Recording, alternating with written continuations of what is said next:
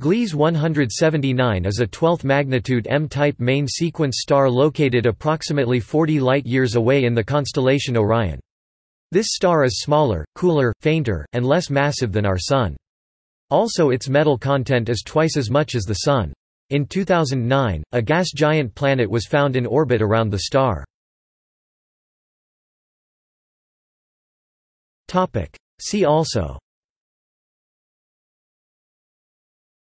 HD 34445 HD 126614 HD 24496 HD 13931 QS Virginis HIP 79431 Gliese 849 Gliese 876 Gliese 317 Gliese 832 List of extrasolar planets.